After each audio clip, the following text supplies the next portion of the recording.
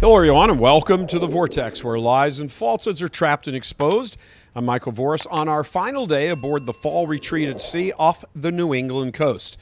Revolutions sprang from these shores 250 years ago. Civil war erupted within these shores 160 years ago. And many citizens are thinking civil war is on the way again. Those are the findings of two recent polls that say a large plurality of Americans believe Americans will be killing each other within 10 years. A Zogby poll puts the number at 46%. A YouGov Economist poll puts it at 43%. In neither poll did more Americans think there would not be a civil war. Those are trend lines that have ratcheted up considerably in the past decade.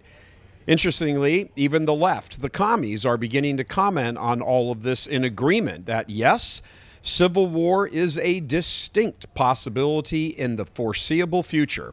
Of course, they blame it on an overreaction by one of their favorite bogeymen, Christian nationalists, whatever that means exactly.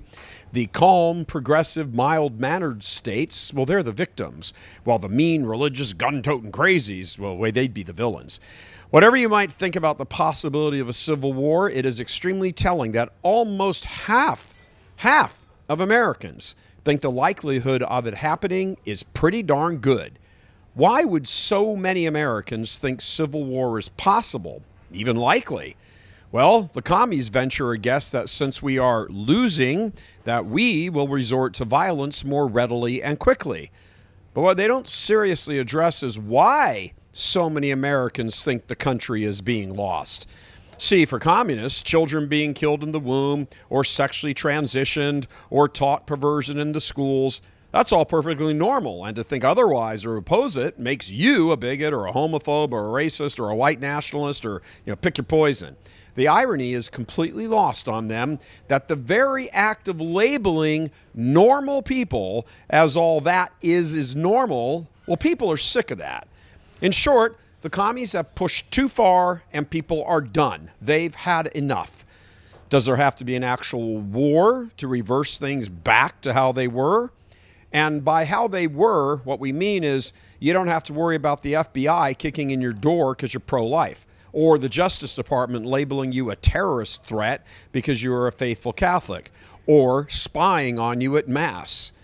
You can choose to not go along with the prevailing culture of perversion and not be canceled. You can speak from your traditional religious convictions and not worry about government and big tech coming after you, or cutting off your bank account, or shutting off your car, or whatever.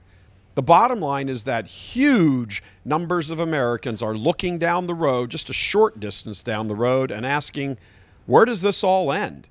And a huge number of them are answering that question it ends at the end of a gun barrel. Right or wrong, necessary or not, as long as the commies keep pushing, the scales are going to keep tipping.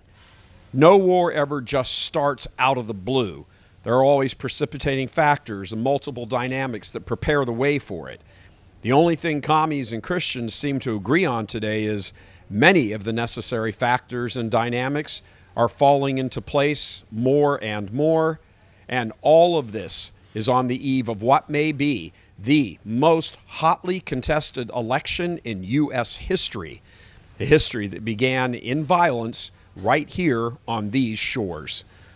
Wrapping up our autumn retreat at sea off the coast of New England, this is Michael Voris for Church Militant. God love you.